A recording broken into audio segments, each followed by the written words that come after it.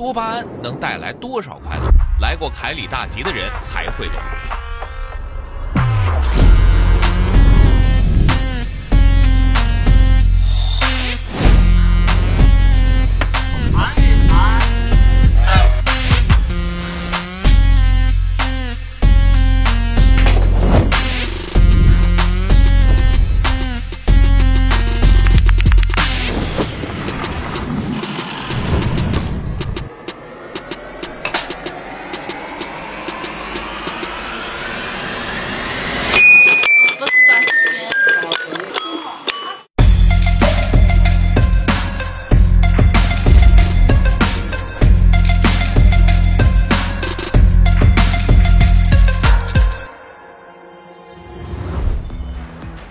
好，我是胡提提。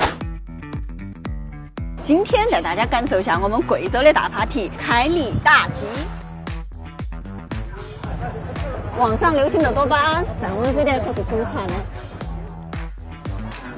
你们看这个竹编手袋，信不信我马上让它售价过万？平淡质朴的设计，却稳稳扣住了2023年时尚的脉门。大爷大妈没听过多巴胺。他们经典竹筐、竹篮、竹鸡笼和外国明星的衣柜只差几个字母的距离。阿姨们对色彩的执着，就像天津的煎饼里绝不能出现辣条，北方的豆腐脑必须打卤，是写在血液里的正义。现在我们来融入一下当地的氛围。作为每周固定的秀场。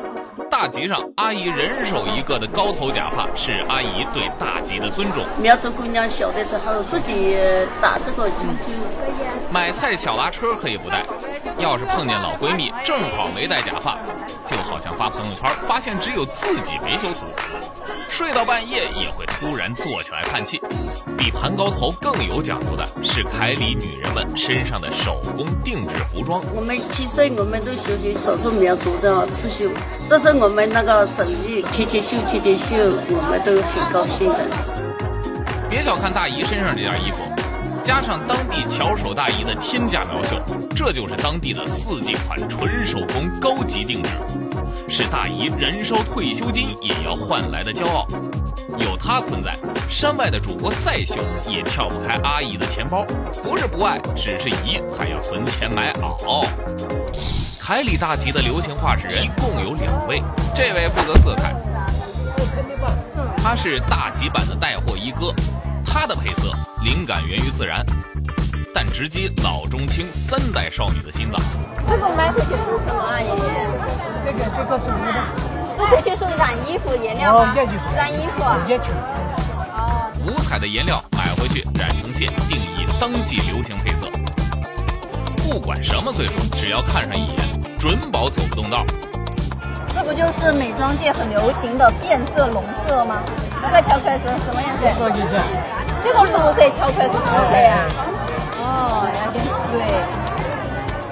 哇，好神奇呀！哇，是这种色。这个爷爷能够成为凯里集市大爷们的假想敌，源自魅力，更源自无差别的收割多巴胺女孩们的钱包。好好，每一样都要。每一样都要。我我卖，你卖了好多年啊？我买了十多年哦。哦，买都买了十多年了。而另一位流行画室人。就在这比电影开头还密集的版权声明下方，气派优雅的高头，膘肥体壮的两只大狗，它就是定义整个大集刺绣款式的画事人——苗绣狂花。因为我什么都会，我有一点霸气，所以我叫狂花，我就配住这个“狂”这个字。阿姨，这些都是你画的吗？是啊。那你以前是专门学过这些吗？才会画手稿？我，没学，因为我妈会，我从小就跟我妈，我就写了人家不骂我的话，他可以拿去用，啊，拿去绣，拿去扎，不能拿去卖，就是不能商用。他独自领悟，自学成才，靠着极高的天赋和自信，定义着大集上服装的刺绣样式。比其他大姨都略高一头的高头和见缝插针的版权声明，都彰显着她凯里大吉时尚女魔头的地位。两位画室人联手，用色彩和图案构筑了凯里多巴胺世界时尚的一面。当全年龄少女们还在迷恋时尚多巴胺风格在视觉上带来的满足，男人们则享受着实实在在多巴胺分泌给人带来的简单的快乐。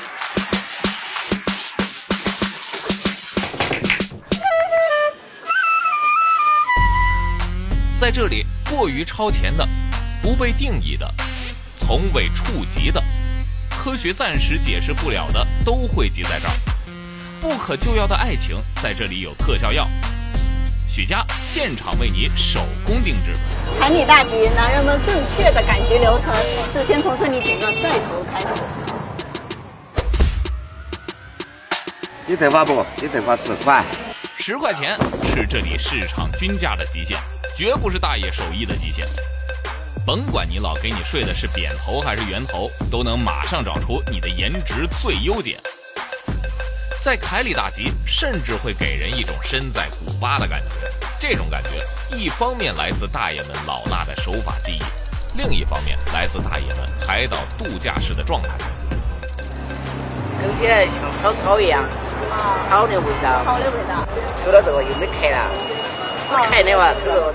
我跟你讲，就是好来了，知道了，你磨了，你你磨了是磨了是对的对的。啊。没磨了，你也不给你改造的磨。啊，这边就干的，那干的就便宜的。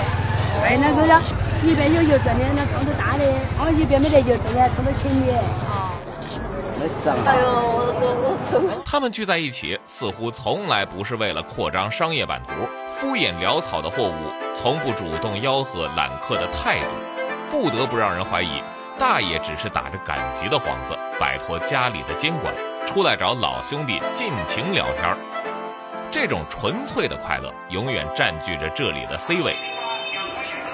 同样处在路口 C 位的，还有东田音响店。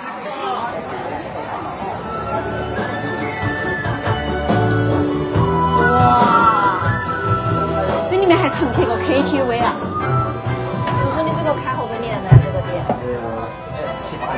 二十七八年，对对，我也是到二十四五岁搞这行业，快乐的时候，我觉得就是讲做生意啊哈。过节过年的时候，很多人都来我这买音响，我都忙不过来，我很开心。他们都高兴，因为都要音响用啊，都高兴。他们快乐，我们也快乐。东田老哥的快乐源自他独到的生意见解，一个等字是他二十年的商业秘诀。我的时间也做在这么长啊！我总是近年来就讲，今天没得生意，明天如果没有，后天应该有生意的，该享受啊，就要享享受点吧。那个唱歌唱得不好。再回首换来如梦，再回首我心依旧，只有那无尽的长路。伴随着老歌的老歌。出门又软，就到了拼运气的旧货街。这里是仓库开箱和集装箱盲盒的微缩版，时间在这里交错，光在这里汇集，能淘到啥，全凭手气。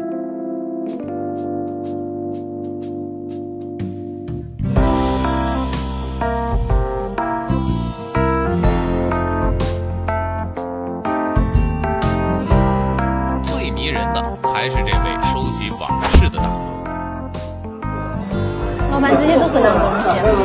信里面是，是老信。但，我逛过很多旧市场，但是我还没看到过旧信。过去的时间在大哥手里一摞摞重叠，无论开出什么故事，都是一段奇遇。大哥喜欢收集二手信札，在他眼里是一段段小人物身上历史的缩影。是时间的旮旯里那些蒙了灰的故事。是全体指战元首，这封信为啥写个全体指战员收？你晓得啥子意思不？万一他哥牺牲了呢？如果说没具体名字，他是不能拆信的。然后写个全体指战员呢，他就可以把这封信拆了。奉劝哥你好，一切都好吗？现在还在烟火枪炮中战斗吗？罐头和干粮已收到。当然，我是非常高兴的。方便的话，为我们讲一讲战斗中的故事，行吗？此致敬礼，如果当时的这个解放军战士，他是看现在他看到这封信，他一定会很激动的。他描述了当时的历史，这是他写给他爱人的信，很感人的。令令不自觉的要提起笔给你写信，呆呆的想，痴痴的想，不觉时间又悄悄溜走。趁这几天都好，我们把这天气装入信封，连同我一起寄给你。这么好的人，这么好的时空，只有你才配受用。好浪漫啊！这封信，我朋友都说你为什么玩的又脏看脏兮兮的这些？哪会买目标？他只有脑壳进水才玩这些。但他就说我是脑壳进水的，因为你喜欢里面的东西，你要有爱好。比如说你喜欢去徒步的，喜欢去走遍全国的那种，你不进水，你花钱去搞了呀？人生必须要脑壳进水一次嘞。二手信渣大哥把昨天的故事传递给今天的你。信件里的故事模模糊糊，语言不详，但看得出来，我们现在的生活正是凝固在时间里的他们所追赶期盼的。所以，大哥是快乐的，我们同样有理很多人觉得多巴胺的快乐太容易，人得多吃苦才配享受甜。对此，凯里人笑而不语。凯里人只会在凯里的大集上，任由自己去享受多巴胺的快乐。在生活这场 party 里，玩玩闹闹，自我沉醉，不拧巴，不较劲儿，才是人最简单、最纯粹的状态。有些苦没必要刻意去吃。毕竟生活给我们的从来不只是他。